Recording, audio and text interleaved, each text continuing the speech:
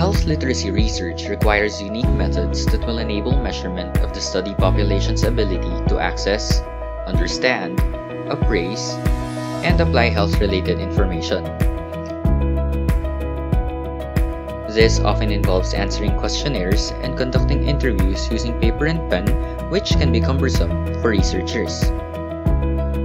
Fortunately, there are ways to carry out efficient research methods that require face-to-face interaction without using paper and pen, and in some cases, without even the need to go to distant study sites.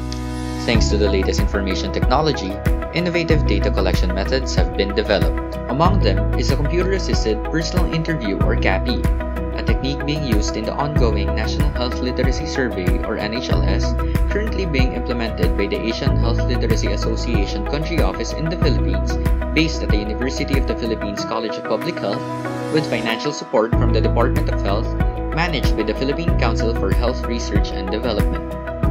CAPI involves reading survey questions aloud to participants via a computer or mobile device and entering responses directly into a survey application using a computer.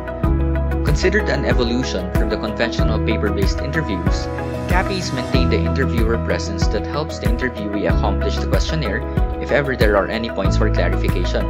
This also helps ensure completion of the questionnaire.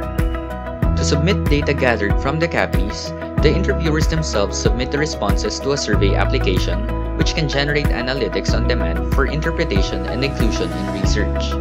In the event where internet connection is not accessible, the interviewers can enter responses using an offline survey form which will be directly submitted in the advent of internet access.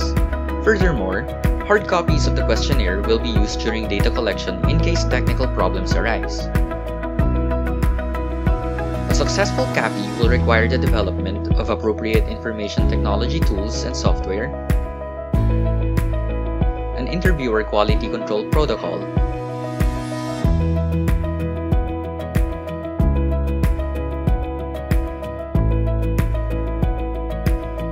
and the data cleaning and processing protocol. CAPI has these advantages. CAPIs are versatile, providing the opportunity to interview more people, even those who cannot answer a self-administered questionnaire. It can also reliably and efficiently elicit data for studies on sensitive topics. CAPIs are precise. Interviewers can make sure of data quality at the point of data entry by reducing errors in encoding, which is common in paper and pen method when transferring responses from paper to computer. This process is no longer necessary in CAPI. CAPIs are cost efficient. There are minimal to no costs to be incurred for printing, transport, and distribution of the questionnaires to the study sites. CAPIs are time efficient, saving time ordinarily spent in travel to study sites and recording responses using paper and pen. CAPIs take advantage of the latest technology. These can be administered using tablets and other mobile devices. Meanwhile, CAPI is limited by individual device issues that may affect data collection such as defective audio equipment. Multi-country studies carried out for topics such as dietary habits and sensitive ones like sexual behavior, CAPI has been shown to save time in data encoding in comparison to self-interview tools.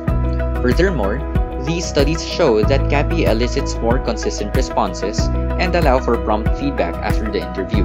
Because these advantages generally outweigh its drawbacks, CAPI is a promising method for efficiently carrying out research in health literacy.